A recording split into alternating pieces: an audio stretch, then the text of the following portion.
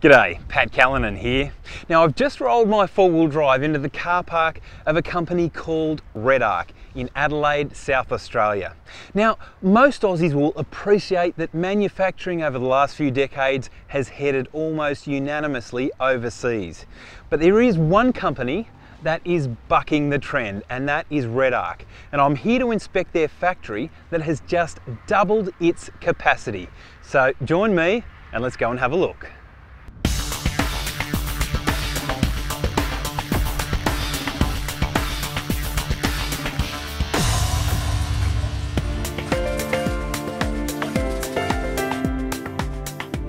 Welcome to Australia's Redarc Electronics, a place that makes all sorts of high-tech gear and goodies specifically for Australia's conditions.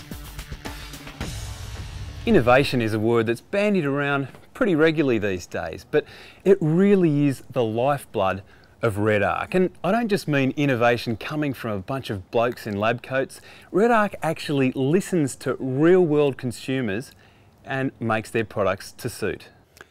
A team of super qualified engineers are employed to make it all happen.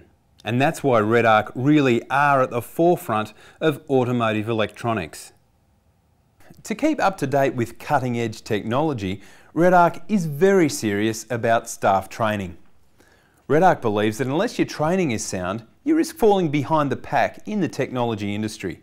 So staff are actively encouraged to undertake regular training so much so that over half of all Redarc staff are currently engaged in training programs, from apprenticeships right through to engineering honours degrees.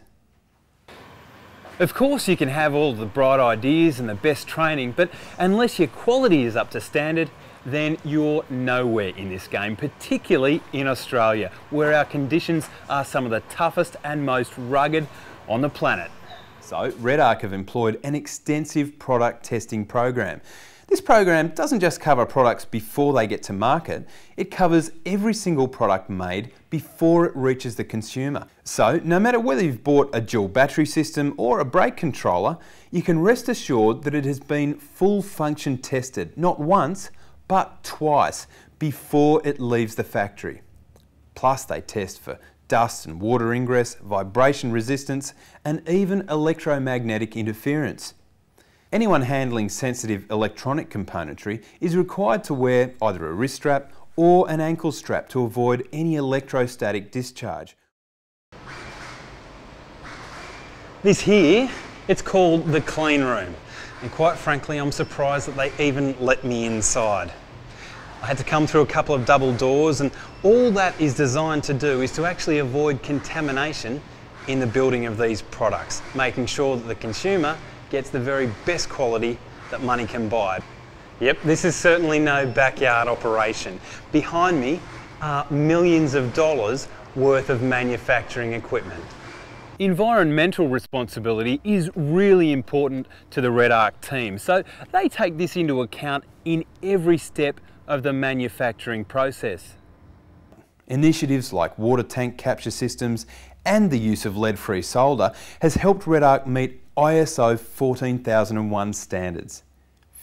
Now, Redarc are probably best known for their consumer products, but there is another part of the company that is pretty big too, and that is their work for industry. Trucking companies, the defence industry, Redarc builds a whole lot of products and keep in mind when you build products for industry, they need to be absolutely bulletproof and reliable.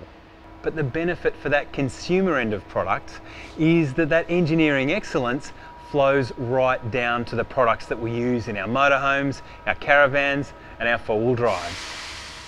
As one of Australia's fastest growing companies, Redarc is always quite naturally looking to the future. And there's no better example than the fact that they have recently doubled their storage capacity.